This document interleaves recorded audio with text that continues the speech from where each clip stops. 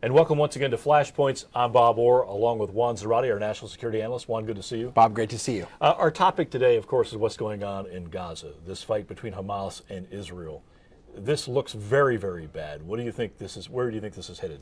Well, this is a conflict that's been festering for some time. Israel's been weathering some of these rocket fires firing from Gaza. Um, and you've had this question as to whether or not Israel would at some point have to go back into Gaza to fight Hamas. And so what you have now is an attempt by a lot of international players, uh, the U.S. included, uh, Secretary Clinton now visiting Jerusalem and Cairo to try to tamp down uh, uh, tensions and to try to convince the Israelis that now is not the time to go in with ground forces. The Israelis have to deal with the fact that they're weathering uh, rocket fire still.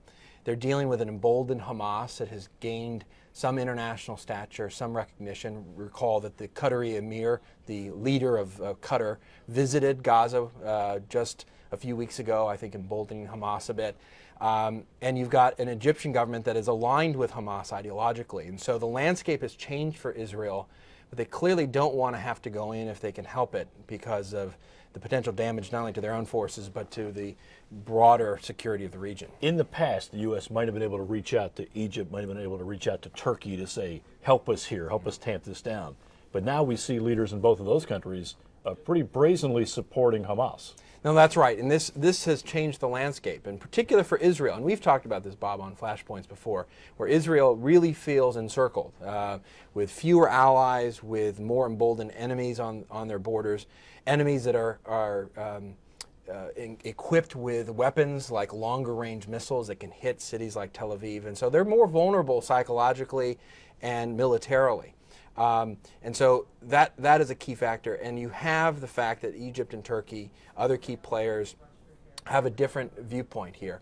What's interesting about Egypt, though, Bob, is they're caught between a rock and a hard place. They certainly don't want a broader war, and they don't want uh, a war that threatens their peace treaty with Israel. At the same time, they're ideologically aligned with Hamas, and they want to appear different than the Mubarak regime. They don't want to appear to be an American stooge. They don't want to be a defender of Israel. They want to support Hamas. Hamas has this uh, broader international uh, support.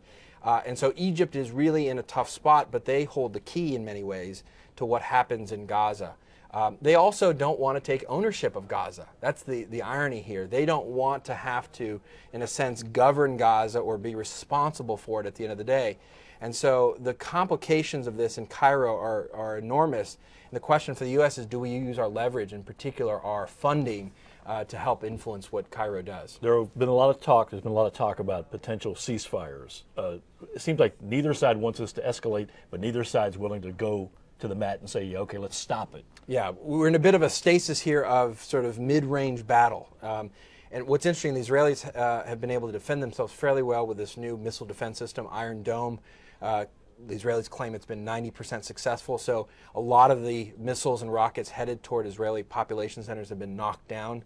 Uh, and so it's given them some strategic breathing space. On the other hand, Hamas is feeling its oats. I mean, they feel powerful here, and they don't want to be the first to blink. And they want, if there's going to be a ceasefire, they want it on their terms, and they're asking for the lifting of the embargo uh, and the blockade of Gaza as a condition of the ceasefire. And so they're trying to take full advantage of the conflict uh, to meet, meet their longer term interests. Right, well, we'll be keeping an eye on this story to be sure. Juan, thanks as always. Thank you, Bob. Thanks to you for watching Flashpoints. We'll see you next time.